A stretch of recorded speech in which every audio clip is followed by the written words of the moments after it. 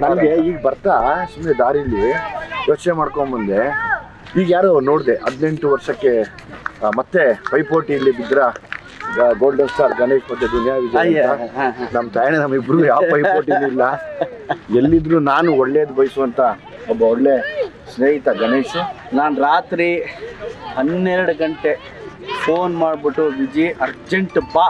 ಅಂತ ಹೇಳಿದ್ರೆ ಬರೋ ಅಂತ ಏಕೈಕ ಮನುಷ್ಯ.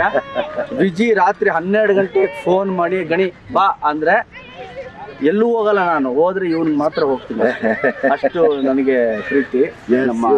ವಿಜಿ ಅಂದ್ರೆ ನಮ್ಮ ಸಲಗ ಇವನು ಸಲಗ. ನನಗೆ ಯಾಕೆ ಎಮೋಷನಲ್ ಆದೆ ಅಂದ್ರೆ ಬರ್ತಾ ಅಲ್ಲಿಂದ ಇಲ್ಲಿಗೆ ಬರ್ತಾನೆ ಒಂದಷ್ಟು ಯೋಚನೆ ಮಾಡ್ಕೊಂಡು ಬಂದೆ.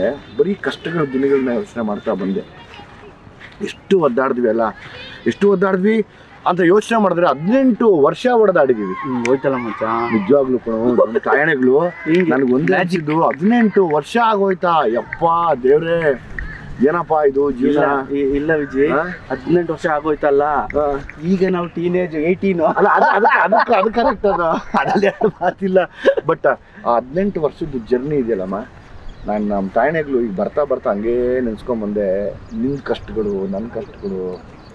ನೀನು ಹೊಡೆದಾಡಿದ್ದು ಬಾ ಅದು ಅದು ನಮ್ಮ ನಮ್ಗಳಿಗೆ ಗೊತ್ತು ಅದು ಬಹುಶಃ ಒಂದು ಬೇರೆಯವ್ರಿಗೆ ಯಾರಿಗಾದ್ರೂ ಅರ್ಥ ಆಗಲ್ಲ ಅದು. ಒಂದು ಒಂದು ಬುಕ್ಕೆ ನಾವು. ಪ್ರತಿ ದಿವಸ ಏನೇನು ಅನುಭವಿಸ್ತಾ ಇದ್ವಿ ಏನೇನು ನೋವು ತಿಂದ್ವಿ ಅನ್ನೋದು ಆಮೇಲೆ ನೀನು ಆ ಮುಂಗಾರು ಮಳೆ ಆ ಮಾಡಿದಾಗ ನಮ್ಗೆ ಬ್ಲಾಸ್ಟ್ ಆಗೋಯ್ತಲ್ಲ ಆ ಅದೇ ನಮ್ಮನ್ನ ಇವತ್ತು ಕೃಷ್ಣಮ್ಮ ಪ್ರಣಯ ಸಖಿ ಒಂದು ಒಂದು ಒಂದು ವಿಚಿತ್ರ ವಿಜಯ್ ಇವತ್ತು ತಕ್ಕಂತ ಮಾಡ್ತಿದ್ದೀವಿ ಒಂದು ಕ್ಯಾಂಡಿಡೇಟು ಆಮ. ಎಲ್ರಿಗೂ ಹೇಳ್ತೀನಿ ಮುಂಗಾರು ಮಳೆ ದುನಿಯಾ ಸೂಪರ್ ಡೂಪರ್ ಹಿಟ್ ಆದಾಗ ಸ್ನೇಹಿತರೆ ನಮ್ಮಿಬ್ರಿಗೂ ಗೊತ್ತೇ ಇಲ್ಲ. ನಮ್ಮ ಪ್ರಕಾರ ಐದಾರು ವರ್ಷ ಗೊತ್ತಾಗಿಲ್ಲ ನಾವು ಹೀರೋ ಆಗಿದ್ದೀವಿ ಅಂತ. ನಮ್ಮ ನಮ್ ಪ್ರಕಾರ ಎಲ್ಲಾ ಹಿಂಗೆ ಹೋಗುತ್ತೆ ಎಲ್ಲಾ ಹಿಂಗೆ ಹೋಗುತ್ತೆ ಅಂತ. ಓಕೆ ಅದೊಂದು ಏನು ಕ್ರೇಜ್ ಅಂತ ಹೇಳ್ತಿರೋ ಇಲ್ಲ ಸೂಪರ್ ಹಿಟ್ಸ್ ಅಂತ ಹೇಳ್ತಿರೋ ನಮ್ಮಿಬ್ರಿಗೂ ಆ ಬಿಕಾಸ್ ಆ ಟೇಸ್ಟೇ ಗೊತ್ತಿರಲಿಲ್ಲ. ನಿಜ ನಿಜವಾಗ್ಲು. ಅಲ್ವಾ? ಸೊ ಐದಾರು ವರ್ಷ ನಮ್ಮಿಬ್ರು ಗೊತ್ತೇ ಆಗ್ಲಿಲ್ಲ. ಯಾವ ಬಾಗ್ಲಲ್ಲಿ ಹೋದ್ವಿ ಯಾವ ಎಲ್ಲಿ ಬಾಗ್ಲಲ್ಲಿ ಏನಾಗ್ತಿದೆ?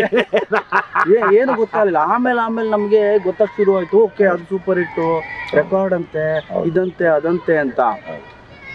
ಅಂಥದ್ರಲ್ಲಿ ನಮ್ಮ ವಿಜಿ ಸಲಗ ಮಾಡಿದಾಗ ನನಗಂತೂ ಡಬಲ್ ನಾಲ್ಕು ಕಣ್ಣಿತ್ತು ವಿಜಿ ಮೇಲೆ. ಬಿಕಾಸ್ ಅವ್ನು ಕ್ರಿಯೇಟಿವ್ಲಿ ಎಷ್ಟಿದಾನೆ ಅಂದ್ರೆ ಒಂದು ಸೀನ್ ಕೊಟ್ಟರೆ ಹತ್ತು ತರ ಅವನು ಮಾಡಿ ತೋರಿಸ್ಬಿಡ್ತಾನೆ. ನಾನು ಯಾವಾಗಲೂ ಹೇಳ್ತೀನಿ ವಿಜಿ ಕಂಟ್ರೋಲ್ ಆಗಿ ಮಾಡೋ ವಿಜಿ ಪ್ಲೀಸ್ ಸೊ ಸಲಗ ನೋಡಿದಾಗ I felt very happy and Bheema the way Viji ಎಕ್ಸ್ಪೀರಿಯನ್ಸ್ಗೆ ಅವ್ನು ಕ್ಯಾಪ್ಚರ್ ಮಾಡಿರೋ ರೀತಿ ಆ ಬೇರೆದೇ ಸಿನಿಮಾ ಅದು ಬೇರೆದೇ ಲೈಫ್ನ ನಮ್ಮ ವಿಜಿ ತೋರಿಸ್ತಾ ಇದ್ದಾನೆ ಅನ್ನೋ ಅದು ಸಾಂಗ್ ನೋಡಿದ್ರೆ ಗೊತ್ತಾಗುತ್ತೆ ನಿಮಗೆ. ಏನೋ ಬೇರೆ ಹೇಳ್ತಾ ಇದ್ದಾನೆ, ಏನೋ ಬೇರೆದೊಂದು ಸ್ಟೋರಿ ಇದೆ ಇದಕ್ಕೆ ಅಂತ ಅನ್ಸುತ್ತೆ. ಹೌದು. ಎಸ್